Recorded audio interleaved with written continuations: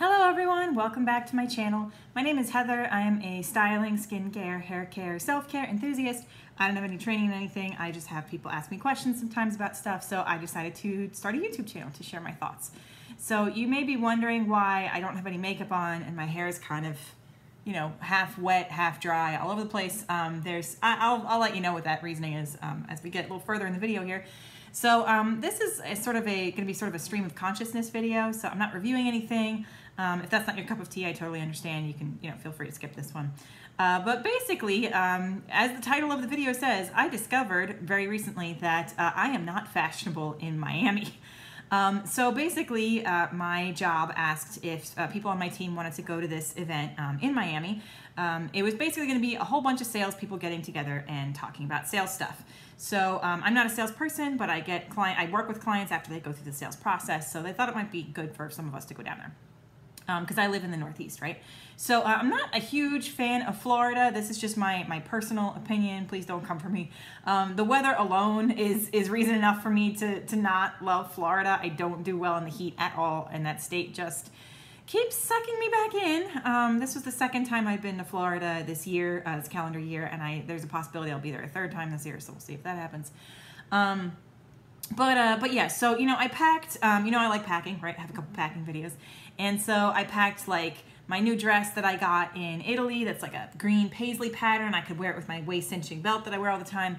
Then I brought my Anthropologie um, dress. It has kind of like psychedelic colors on it and like it has like permanent pleats in it basically and I can wear that with the same belt.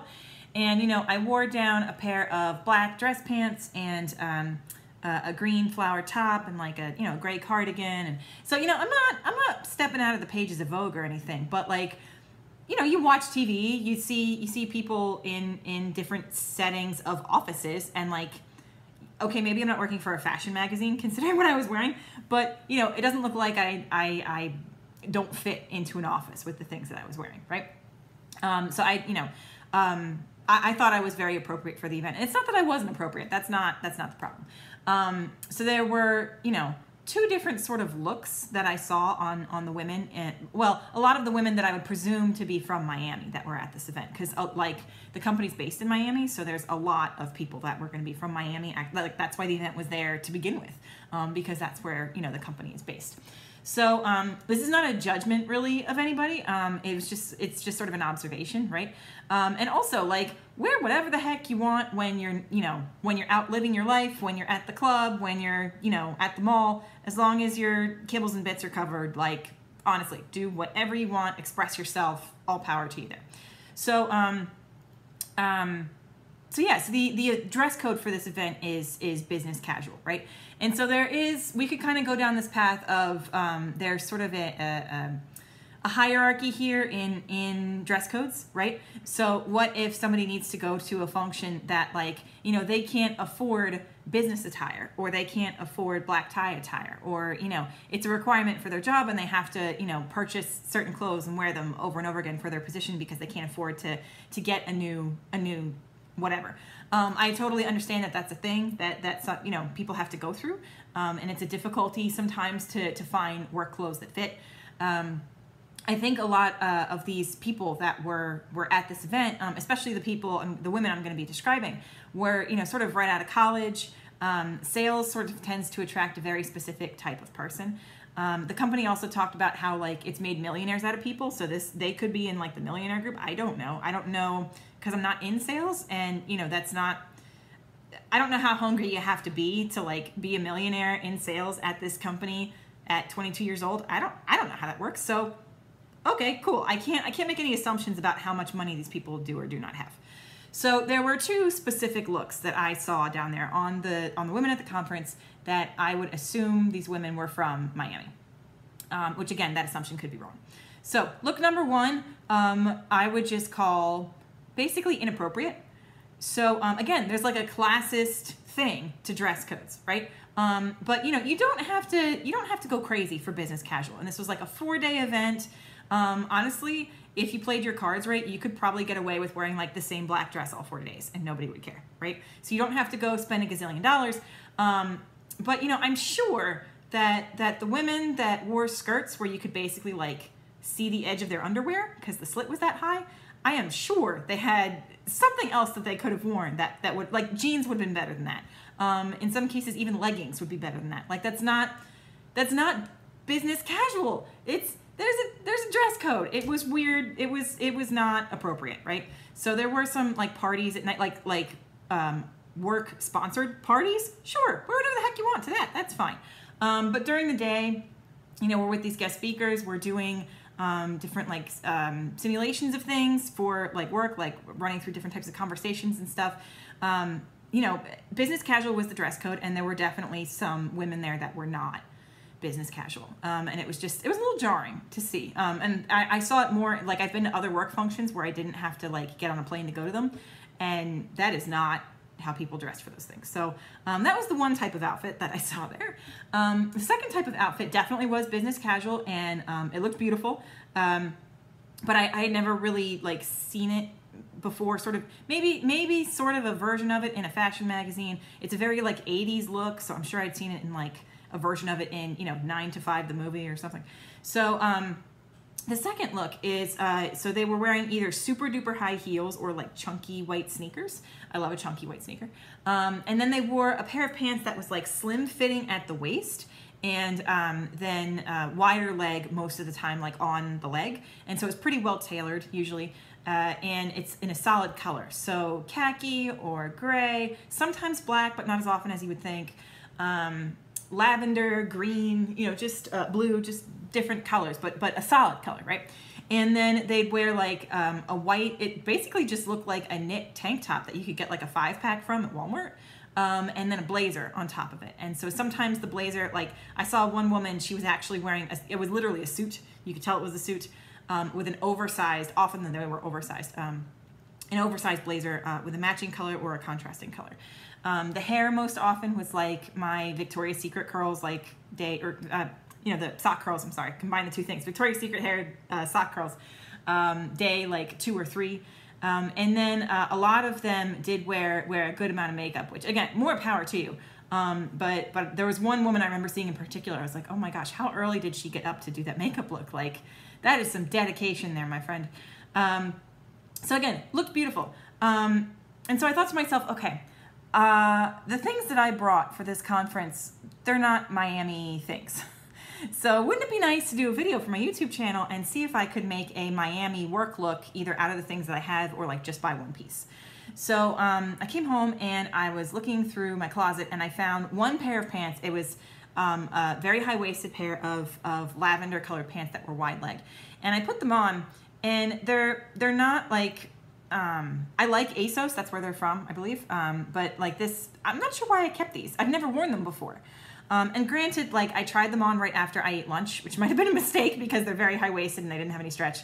Um, but uh, they just like they didn't they didn't look right, and I'm like, why?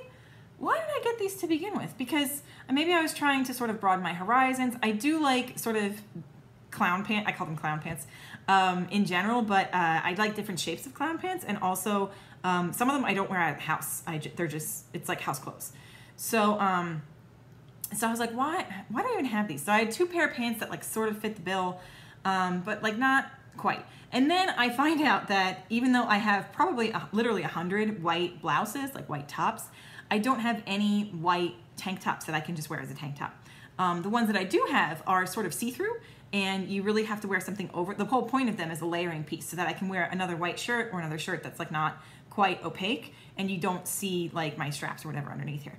Um, that that is something. By the way, I tend to be a little bit more conservative with the way that I dress. What is happening with my hair? I don't know. Uh, I half dried it. I was trying this hair dryer, one of those like paddle brush hair dryer thingies. My mom got it from Costco and she didn't like it, so she wanted to see if I liked it before I returned it. I didn't like it. It it took 10 minutes to like barely dry my hair halfway. I'm like, mm, whatever, I don't need this. Um, anyway, uh, so yeah, so I'm trying to make this outfit and it just, uh, it's just, it doesn't like feel like me. Um, and also these pants are annoying and like I, I like my cardigans and I like my blouses that are patterned. I have so many beautiful patterned tops. Like that's what I usually do. It's a patterned top and um, you know solid bottoms and uh, a cardigan or a, a blazer in a solid color. That's my standard thing for work. So then I'm thinking to myself, well, why why was I so enchanted with this look? Is it just like is it just because it's new or like what what's the deal? Um, and then i started to realize that um, you know pretty much all the women that i saw wearing these looks were like pretty young. So i'm i'm not old i, I guess uh, but i'm i'm not 22 right? Um, i have never been smaller than a size six and i was a size six for like five minutes. Um, i'm currently a size 14 and all of the women that i saw wearing this were they couldn't have been larger than a size eight. Uh, maybe a size six and like there's nothing wrong with that. Like you just you you have your body. This is your meat sack that you're using to go throughout the world. And just like i can't help that i was you know born with a giant head and and large shoulders and you know uh, kind of a sweet tooth um, those women can't help the way that they were born you know. Okay she's six feet tall and blonde and has an australian accent. Like that's just who she is. That's how she was born. That's like i'm not trying to i'm not trying to crap on anybody right um, so then it sort of got me thinking about like there's this blog that I've seen before, um, and it's called uh, well, it's not it's not what it's called, but the the concept of it is is this fashion or is this person just thin? Um, because the idea is like uh, you know if if a, a conventionally attractive thin woman wore this outfit and then you know a size 18 woman who is less conventionally attractive wore the same outfit um, you know, are people going to say that the thin woman has is fashion, um, and the the fat woman is, you know, letting herself go or lazy or whatever? Because it happens quite a bit. You'll see like some of the the streetwear looks that some of these models wear.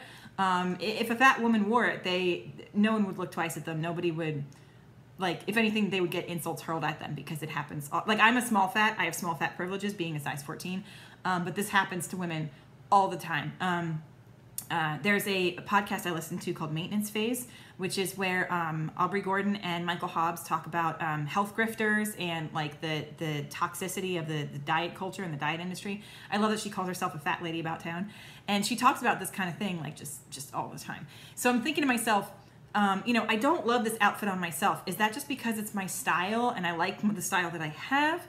Is it some internalized fat phobia that I have? Because um, you know, I do get self conscious if like if I don't fit into things the way I did before. Um, it's it's like I don't like that, right? And there's nothing wrong with losing or gaining some weight. There's there's nothing wrong with it. Um, like everybody's just trying to sort of do their best. Um, and everybody has a different definition of what's most healthy for them, uh, especially with like the mind body connection. That's a big thing for me because, well, that's that's a story for another day actually. Um, and so it's like is this some internalized fat phobia here that's telling me that i can't i can't wear this look or i don't like this look or whatever or is it just like you know what i'm i'm thinking that i need to fit in with this group when i really don't or is it you know oh this is just like a cool fashion thing and it was sort of like i was at this fashion show and like it was it was almost like the room was a fashion show sometimes um, and i'm just intimidated by this situation because that's never going to be me um, I don't know. I can't. I can't quite figure out what it is. Um, I definitely think there's some internalized fat phobia there, which which makes me sad that I still have that. But like, it's just like you know, everybody has internalized racism. Everybody has internalized fat phobia. Everybody has internalized misogyny, and we all just kind of have to work to get rid of that every day. Um, every time these things come up, every time this is in your in your in your head with a thought process, um, because this is what our country was based on, basically. If you live in the United States, anyway, this is this is sort of how it was made and who it was made for. Um, and that's not to say like if you're a tall, thin, rich white guy that we should just automatically hate you. Like that's not that's not it either. um, but um, yeah, it kind of ties into the whole privilege thing.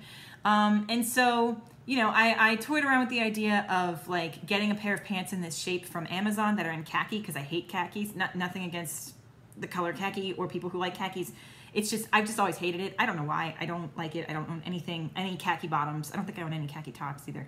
Um, and so it's like, well, what if I pick these two things that like, you know, one of the, the shape is hard to tailor for me, and the and the color I hate. And what if I try to style it like I'm in Miami, and it's like, well, what's what am I what am I really doing? Like, why can't I just be myself? Um, so that's sort of the reason for this no makeup hair thing is because it's like, you know what?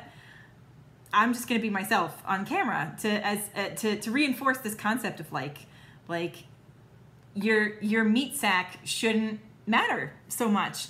And it's great to like, you know, I have a million piercings in my ears and you know, you want to color your I color my hair, you want to color your hair and you want to get tattoos and like you want to adorn your body, you want to wear these beautiful clothes. Like that's That's awesome. Just do whatever you want to do.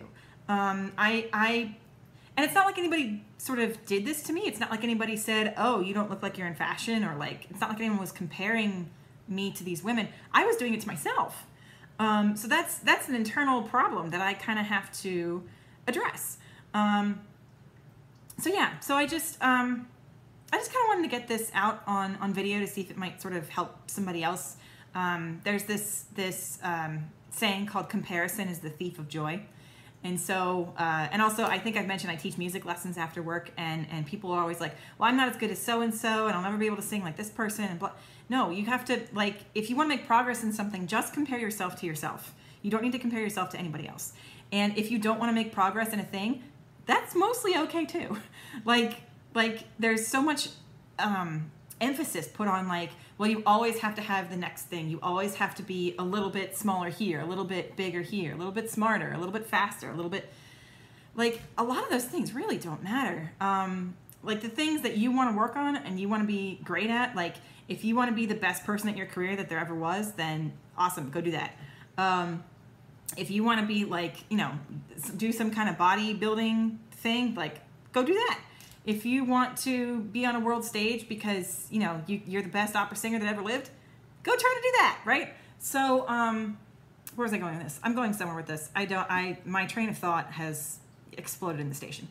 Um but the point is uh i love you and and you should love you as much as you can you know for for your situation in in life and and for being a human being right we're all cucumbers with anxiety um uh, and and if you can't love yourself, then I think actually what's what's better is body neutrality. To say like, this is my meat sack. This is what's taking me around the earth. This is what's what's hosting whatever consciousness is, and and letting me do the things that I want to do. Um, and I realize I do have some privilege, you know, on that level as well, because it's like, you know, I, I have some Eurocentric facial features, I guess, and like I have decent hair and like I can fit into some stereotypical Western beauty standards when I try. So I realize I'm coming from a place of privilege, um, but but I really hope everybody um, you know has some has some body neutrality today or some some self love today. Uh, if anybody wants to share their stories or their thoughts or feedback or whatever, um, put it of course in the comments uh, below. And other than that, I hope you have a super awesome rest of your day. Thanks so much for tuning in. Bye.